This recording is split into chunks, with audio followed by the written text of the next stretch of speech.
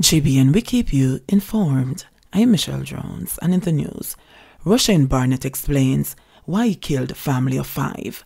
Please remember to subscribe, share, leave us a comment, and click the notification bell to receive our daily news items.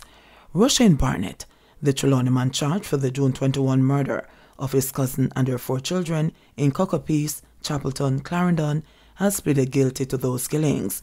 Barnett claimed he unleashed his wrath on his cousin, Kemisha Wright, and her four children, stabbing them to death and slitting their throats because she disrespected him in front of her customers. It was also disclosed that before the deadly onslaught, another cousin had overheard Barnett saying, Me go warn my brother out of Chapelton, say me go kill some people tonight, saying for look out eye.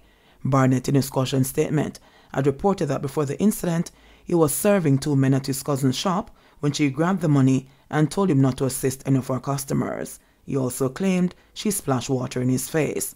According to him, since that incident, his cousin's attitude towards him changed and her children also started distancing themselves from him. The reason behind the gruesome murder, which has rocked the nation, was disclosed Thursday when Barnett appeared in the Home Circuit Court and pleaded guilty to five counts of murder. Prosecutor Andrea Martin Swaby shared chilling details from Barnett's caution statement about how the victims were murdered. Barnett said on June 20, about midnight, they were at home when Wright told him to lock the gate and he told her that he heard a vehicle. He said his cousin checked and indicated that she did not see anything. According to him, he looked at her and she looked at him as if she was preying him. He said she reached for something on the dresser, but he did not see what it was. However, he said he prayed in the heavens that it was a knife or a scissors, and he reached for a knife that he had and stabbed her up. Barnett said at the time when he attacked her, she was holding her children. After that, he said two of her children rushed to the dresser and started hurling things at him, and he advanced on them and stabbed them. According to him, the eldest child, who was in her room, picked up a pair of scissors, and he rushed at her and stabbed her after she fell. When everybody did him charge off, and chose shots and knife over the side where the accutry was located, the court heard.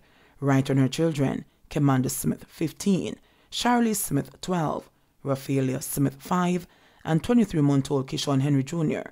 were discovered in their home on June 21. The post-mortem report showed Kemisha Wright received 48 incised wounds to her neck, chest, abdomen, and limb.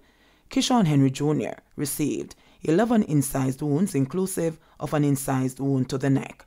Commander Smith received 9 incised wounds and 4 stab wounds. Charlie Smith received 22 incised wounds and 2 scratches. Raphael Smith received 5 incised wounds and a gaping wound to the upper neck. The victims died as a result of hemorrhage, shock, and the multiple sharp force injuries and a throat injury. That's why I tell us sometimes we can't serve for people, you know. JBN, we keep you informed.